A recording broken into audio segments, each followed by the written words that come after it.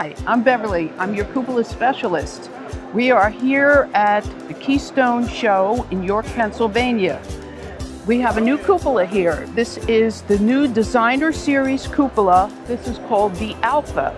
It's beautiful vinyl cupola, has a copper roof, a beautiful weather vane, and as you can see, beautiful colored louvers. So this is one of our newest designs.